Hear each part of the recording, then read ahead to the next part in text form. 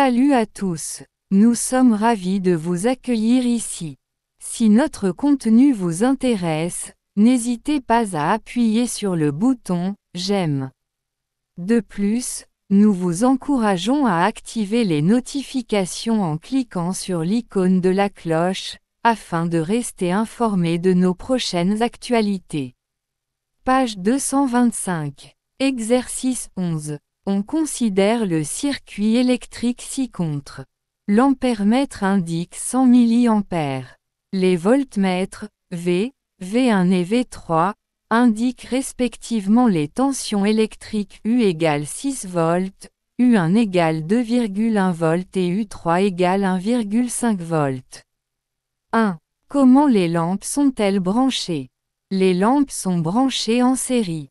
2. Quelle est l'intensité du courant électrique qui traverse chaque lampe?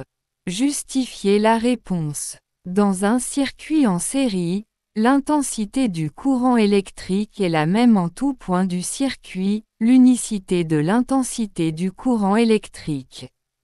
Alors, l'intensité du courant électrique qui traverse chaque lampe est 100 mA. 3. Quelle est la tension électrique aux bornes de la lampe L2 Dans un circuit en série, la tension électrique aux bornes du générateur U est égale à la somme des tensions électriques aux bornes des autres dipôles. Loi d'additivité des tensions électriques dans un circuit en série. Alors, U égale U1 plus U2 plus U3.